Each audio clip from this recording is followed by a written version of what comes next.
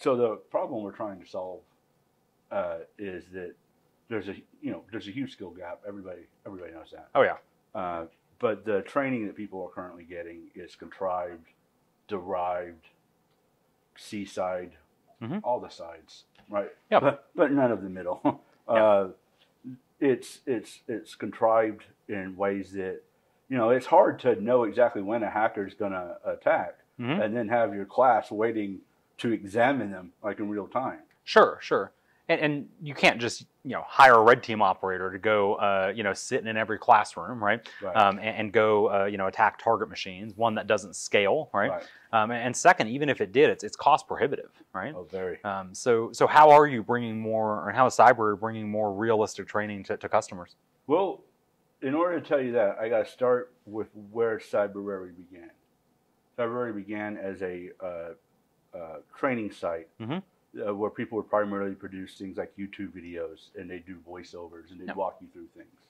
Mhm. Uh, you could watch a lot of stuff happen, Right. But that's far from hands-on. I mean, we don't know what our learners are doing, Right. Like while they're watching the videos, but if they were doing anything hands-on, it wasn't being provided by Cybrary. Right.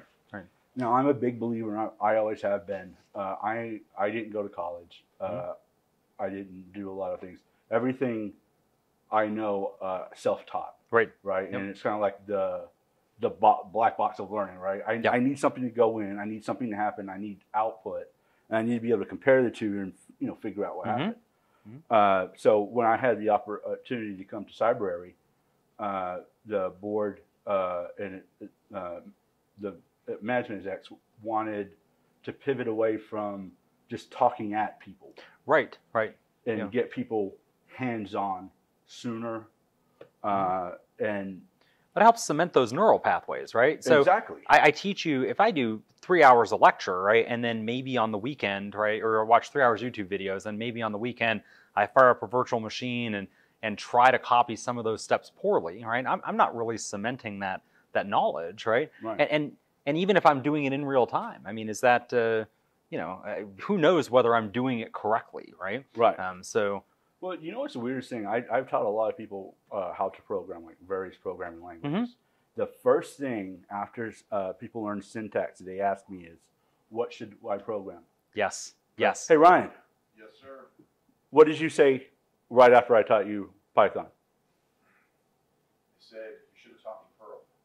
Oh, those are fighting words. Oh. Those are Can fighting we, words. Cut, can we cut that out? Pearl, Pearl. Perl sucks. So, so folks, there are very few four-letter words in the industry, but Pearl is definitely one of them. Um, Maybe two of them. Whew, two of them. I love it. Um, you ever see that? How to shoot yourself in the foot with any programming language? Uh, yeah. That yeah. that, that there's a great one out there about Perl. It says you shoot yourself in the foot with Perl. Nobody else can figure out how you did it. Six weeks later, neither can you. Right. Right? And That's that's. Perl. Right? It That is. It is. It rings completely true. Right? Uh, of course, the one with Python talks about you try to shoot yourself in the foot, but you keep it in the white space between your toes. Right? So, um, you know, I guess uh, six of one, half a dozen of another. But coming So back, This is a weird uh, segue back to what we were talking yeah, about. yeah, Perl has almost never been the right tool for the right job. And if you want to build hands-on uh, like SOC operators, hmm uh, watching YouTube videos is also not really the right tool for the job. I love that transition, man. That that's a gold star right there, right? Thank you. So you're talking about like when you try to uh, teach somebody to program, one of the first questions is, "What next?" I learned Yeah. syntax. What do I do next? Right. We run into the same problem, I think, with a lot of cybersecurity training, right? Training, right, where it's like, go watch a video. Now, how does a student, right, who doesn't have, um, you know, a, a whole uh, host of, of virtual machines, and and even if they did, how do they configure them into something usable and get background noise, right? Because Right. it's one thing to go find an event when you generated an event, you stood up your own instance of Splunk, there's nothing else feeding in, and then I generate the event, and it's the only thing there. Like, I found it. And it's like, well, Right. no joke, right? It's the only thing in there. But what are you doing that's different? Well, a, couple of years ago, just as an anecdote, I taught somebody how uh, to use Security Onion, Yeah. and uh, they were a level one SOC analyst. Yep. Uh, and I had left for the day, and I got an email at two in the morning. They're like, "I found an IP address." Like, okay. Like, no, it was just like it was there. What I did was I searched, and an IP address came up. I hope so. It's Security Onion. I mean, and I was well, I was trying not to crush. right? No, of course, yes. Uh, uh, So what? What did the email? What I mean, what did the IP address do? Oh, it connected to something called an NTP server. yeah, but that's the background noise stuff. By the the way, right? To, to bring that all you know all whole here, that's the background noise that's in every network security monitoring stack, right? Um, and so if you're not generating background noise for training, when somebody gets into the real world, uh, the reality is that they are going to see that background noise, like connecting to an NTP server. And so if you're not providing that in training, the first time they see it, right, That's is a- going to be in the real world and it's an anomaly exactly that we're telling folks to go search for anomalies and what do you know without background traffic and training your background traffic in reality is well, an anomaly Right. Right. So, in order to to go from the YouTube watching to Mhm. the hands-on, what we did was build uh, uh, per learner environments that would stand up a SOC stack. Uh, it basically uses uh, some open source tools Mhm. uh, like uh, the Hive, uh, MISP, Mhm. uh, Helk, Yep. uh, Cuckoo. Uh, but in addition to that, uh, there's a lot of automation that the learner doesn't see. Right. For instance, uh, we pick one of 20 threat actors Mhm. uh, for each instance. Now, the, they my ab- absolute favorite thing about this model is people will go, okay, well, what are the like? We're going to need to know the answers ahead of time. I, I, I can't tell you the answers ahead of time until like uh, the lab runs Yes. and instantiates. I, I can tell you how to hunt and find the answers, but I don't know what the answers are. Right. And that blows people's mind. and so to clarify folks right the, the traditional cybersecurity training model up to this point has been to generate a data set right that data set remains static for some period of time whether that's six months a year even just a month whatever i mean a month isn't realistic in most of these six months or a year um, and then you know basically you're asked questions around that data set they say an intrusion just happens at april 4th 2021 and you're like it's august 10th 2022 right none of my Well, now queries that could be also accurate. well, okay. I mean, that's a long detection That's time, it. though, That's right? a long But detection yeah, time. it's not the pretend that there's this this time dilation Right. kind of thing going on. And and so when you're generating the data in real time, I can't just like you said, right? I can't point you to what the answer is because the data is getting generated. You can point them though to how to find Right. it, which is a repeatable solution, right? Rather than them focusing on a specific answer. You're te- you're instead of giving them the fish, you're teaching them to fish. I, I have to teach the QA people to fish, which is funny. One of them accused me of surreptitiously trying to make them Hmm. SOC analysts by having to go through and figure out the answer. I'm like, you know, I didn't think of that before, but I sure wish I had. Yeah, it's kind of one of those like unintentionally brilliant kind of moments, right? So, yeah. So we'll pick a we'll pick an actor. We'll pick out the the MITRE ATT&CK uh, IDs that they'll use. Mhm. Then we'll generate then we'll uh, synthetically generate a, a new attack Mhm. using uh, real data from uh, previous attacks, Mhm. and we'll create a new MISP record for it. Right. And but the entire uh, everything you need to answer the event isn't in that MISP record. Right. Some of it will be in a, a cuckoo report. Some of it will be in Helk. Yep. Right, and you'll get a ticket in Hive, Mhm. and it will kind of tell you this. And you have a you have your playbook for Mhm. your SOC, and it will tell you basically like, well, before you uh, can determine if a ticket's false positive, you need to do these steps. You know, right. Just like a real SOC. E- Exactly like a real SOC, right? Because there's never a situation where all the data that you need is in one platform, right, to investigate an incident. It's funny Um, you say that because when they asked me to come up with this, they were like, so should like when we do this Jeopardy board, should we use like blue, like like real Jeopardy? Yeah. And I'm like, there's no Jeopardy. Right. And they're like, what do you mean? I'm like, the the most important things that uh, SOC analysts do is time management, uh, tool management, Hallelujah. and fusion.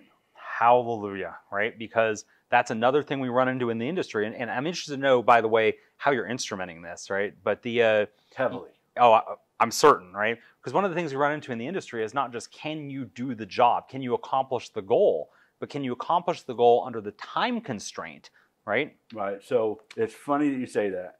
We have so all of our events get like we have a JSON file that gets read, and, and each JSON file is Mhm. a different event. I Right. want to add a new event. I basically just add a new JSON file. Gotcha. Right. Uh, you have one hour to do four tickets. Mm-hmm. Uh, if you do more than four tickets in an hour, you have you can get up to three more tickets. Okay. Uh, a total of seven tickets. Mhm. But to get the passing score, you only need to do successfully complete four in one hour. Gotcha. Uh, and we figured we asked a lot of uh, people uh, who ran SOCs of various sizes Mhm. uh, for kind of metrics. Yeah. Uh, and we came up with, you know, for training Mhm. on, on a tool set that you might not know, having seen a SLP, like the playbook Yeah. for the first time, Yeah. 15 minutes per ticket. Now, At, at like- triage level, that I mean, I, I own an MSSP that aligns well with what I'd expect, right, for triage level Yeah. analysis. So yeah, that's perfect. Right. So there's some, and uh, the seven tickets are, are a variety. Some of them will uh, be straight up false positives. I love that, right? Because that's something else that, that we don't see a lot in the industry, right? Is the, you know, every time it's in training, it's every time you get an alarm, it's bad, right? Well, that's not reality, right? That is not, reality no. is that Triage is mostly the human factor of filtering Yes. out false positives. Yes, and, and you know, experientially, I, I can share with you that depending on the environment, right, um, you can count on somewhere between thirty and fifty percent false positives, right? Easy. Easy, right? And that's, I mean, that's a well-tuned environment, right? Um, if you go drop an EDR in and you're like, go aggressive on LOLBins and LOLBAS, right? Like you're seventy plus percent false positive, right? So it's, I mean, yeah, Now, so this is a SOC level one analysis Mhm. uh, uh, course. We're debating what to do next. Whether we do a two and then a three, or we just uh, expand it to a SOC analysis course, Mhm. uh, where you just take it and it kind of tells you like what like where you should be in the uh, seniority Mhm. and what you can do to improve.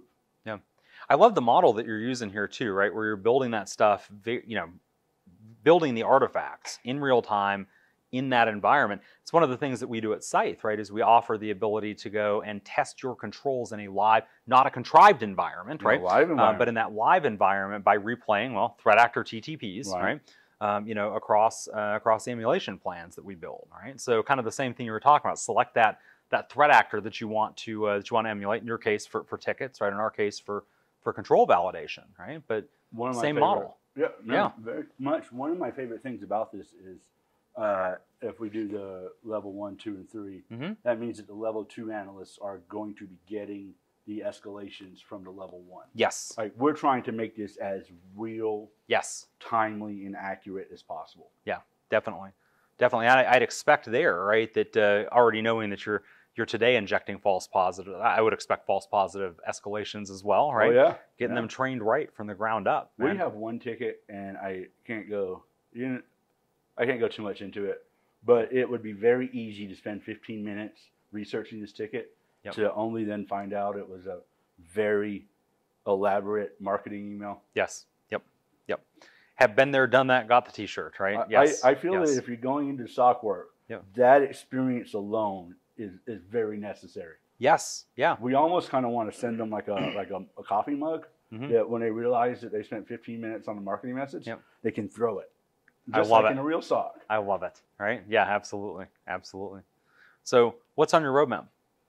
Well, uh, we'd like to do more, better, bigger, faster. Okay. What we what we are not experts on, Mhm. uh, and I've I've been a threat hunter and vulnerability researcher forever, but Right.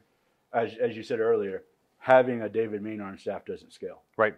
Yep. Uh, so we're we're looking to partner uh, with an org that can uh, help us produce uh, real time uh, attack data that would that we uh, use to feed the simulations Mhm. and uh, like not just not not just the attacks that people are working on. Right. One of the weird things that, that we do about this is there's other uh, you're not you're not the only, you obviously wouldn't be the only SOC analyst working. Sure. Sure. Right. Yeah. You're just working the cases assigned to you. Right. Right. That also means that there's attacks that are going on. Right. That have nothing to do with your case. Right. Yeah. You can find them. Yep. You could spend time working on them, but now that that's a rabbit hole. Yes. Yeah. Absolutely. But we'd like to partner with a company that could uh, help us uh, generate more better Yep. uh, artifacts Yep. uh, in a more consistent fashion. Sure. Well, conveniently, that's that's what we're doing over at Scythe, right? So we just stood. I know. What are the odds? Um, so uh, you know, conveniently, we just stood up the uh, the Cyber Threat Intel program earlier this year, um, where you know Scythe is an adversary emulation platform, and you can use it obviously for red team automation. Um, but uh, you know, my job as the executive director of CTI uh, over at Scythe is to go build more emulation plans that are more realistic, as well as driving the capabilities uh, behind them that are required ultimately to go execute those, right? So great example of that. Um, we just turned, you talked about more, better, faster. Uh, for our Threat Thursday series, we just cranked out a uh, Qakbot uh, Mark of the Web bypass emulation Oh, uh, that mounts an ISO. Um, and then from an emulation standpoint, right, we needed to then go and uh, needed to go then um, and double click a link, right? Well, you got to be in the right working directory. Right. It's not simply say execute, Right. right? Um, so that required a bit of uh, you know a bit of work on our end, a bit of development work. But um, to that end, right, we're rolling into a module. We'll now be able to do a lot more uh, build outs around that stuff. So um, That's the uh, sock mafia. it is, it is. I was just I was waiting so we could cut that out in post, right? Microsoft Um, found out what we're doing. so- They're here to kill Oh, that's all. it. They are right. Um, so anyway, but, uh, yeah, so so our uh, really what we're looking to do there is build more of those emulation plans faster. And and by the way, too, this one, uh, you know, we released, and I'm going to skew the date here. It was the uh, it was the end of July, right? So uh, last week of July, the actual Qakbot malware that we uh, that we wrote this off of. Uh, hit uh, it actually has a July 14th date on it, right? So the the ISO itself says July 14th something, right? Can you get Um, more timely than that? No, no, and and from a you know thinking about you and, and your training, um, one of the things that, that makes uh, this emulation plan fairly special, and, and we're gonna obviously build more of these. Um, this uh, this ISO we rebuilt the uh, it's a two stage loader now with Qakbot. We rebuilt their their first stage loader um, entirely because it has to actually execute to load the second stage. Uh, but that second stage, uh, which is the the Qakbot DLL that ultimately gets sideloaded, um, it's uh it's the real Qakbot DLL minus about 15 bytes, right? So we're going into the malware, patching it out so that it it runs runs it sleeps in memory, right? So your EDR. That's exactly what we're like. That's Yes. the kind of thing we want. We don't want yes, decommissioned or demilled, no, or as I like to call it, uh, blue team malware. Right. Because now you're looking at, right, you're looking at a, a piece of malware, right, that the, if you're looking at a DLL list, it's there, right? If you're looking at, did we just copy it into memory? No, didn't do that, right? It's all, all the sections are properly aligned. If you're not familiar with this, folks, this is the technical nitty gritty, right, that a lot of uh, training vendors kind of like skew over, right? And, and so the stuff looks different in training than it will in reality, right? We want we want real Yara rules. That's it. That's it. And the real Yara rules will indeed trigger directly on that. That's good Um, because, like in a training environment, if I have to maintain the environment, then also write fake Yara rules. Yes, that's Right. why would you want to do that, right? This allows you to pull in the real Yara rules that you're seeing directly out of, you know, other CTI sharing platforms. So our our CEO uh, is named Kevin Hanes. He Mhm. was the COO of SecureWorks. Okay. Right. So this is uh, something that's very close, near dear to his heart. Mhm. Uh, hiring and, training and fielding analysts. Yeah. And he is always thinking about how can we get uh, somebody on deck uh, working like uh, efficient faster, Yes. right? And if we have to teach, we have to teach people a bunch of fake tools, Yeah. yeah. Like- you don't want to do that. you're just extending your time. We were talking offline here, well, pre-show actually, talking a little bit about how the you talked about like the fake tools, right? And the you know it's when we say fake tools, meaning like writing a Yara rule that doesn't trigger in reality, but does trigger on my my contrived data set, right? And what we're doing here, like me and you, we, we can track with that because we've got decades of experience in, in information security. When I'm trying to teach somebody brand new to the field, right, this is how a particular tool works. I now have two problems. I'm trying to explain to them how the tool foundationally works, and at the same time saying now abstract it away because because we we had to do the following things to make it contrived, right? Well, that's I mean that's wait, a wait, lot Jay, to you keep in your me- mind at the same time. You told me to write down colon colon slash question mark dot dot Yeah. slash. Yes. Is that not what I'm going to do at work? and that's the verbatim part of it, right? D- Dave's making a joke here, right? But it's the you know that that entry level trainee, that entry level analyst who's taking that that SOC one course, right? They very often are, are literally going verbatim, right? So if we're teaching them to go search through a contrived data set, um, you know, and they're going to take that contrived search back home with them that isn't going to work in the real environment, right? So yeah, I, I think this is fantastic. Well, we covered this in training. Uh, first of all, I have to find an IP address from Hong Kong. Yeah, right. Yep. Yep. Definitely. Uh, but we're so I mean that's our that's our future is more uh, bigger, more accurate, yep. more timely labs. That's it. That's it. Well, I can't wait to see what we do together. I can't either. Outstanding. Well, Dave, thanks so much for your time, man. It's Thank been fantastic. Me, sir. Definitely. Definitely. Yeah.